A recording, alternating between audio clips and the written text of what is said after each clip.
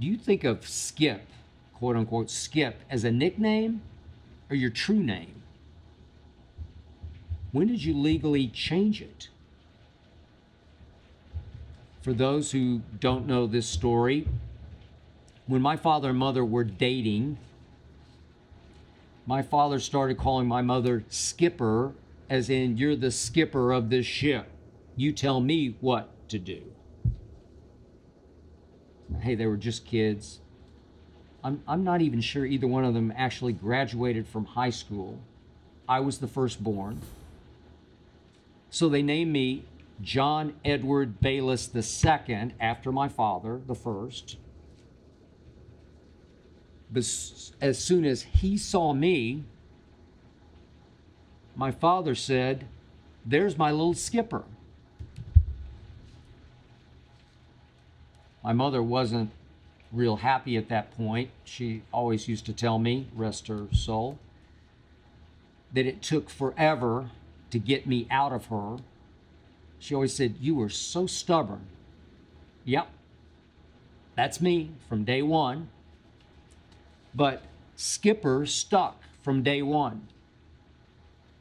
Not once in my life, not once was I ever called John or John Edward by either of my parents. Not, not even when my mom was furious with me, which was pretty often, not once. As I got older, Skipper became Skip. And starting in seventh grade, when you leave your elementary school, you go to, in, in our case, junior high school, where you had seven different classes. Starting then in seventh grade, every first day of school, I had to battle with all my new teachers to accept Skip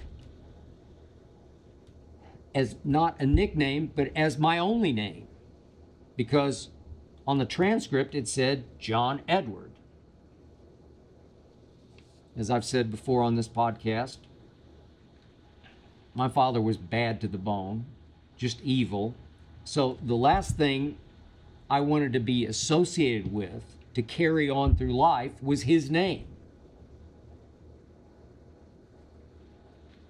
When I got to Vanderbilt, started to occur to me that Skip is a pretty silly first name. But once I started seeing it in print, as I started writing for newspapers and saw my byline, I, I actually started thinking it's it has a pretty cool ring to it. Skip Bayless, okay. But I was still leading two lives because all my legal documents were John Edward II. It's driving me crazy. So finally in Chicago, I think it was in 2001 when I was working for the Chicago Tribune, I did go to court and I managed to convince a judge that I needed to change my name to just Skip, period, just Skip Bayless, period. And he granted me the legal right to be forever Skip. Thank you, Mom and Dad, for that. I hope you enjoyed that video. You ready for more? make sure you click that subscribe button for all the exclusive content from The Skip Bayless Show. And don't forget to check out the full episode of the show wherever you get your podcasts by clicking the link in the description.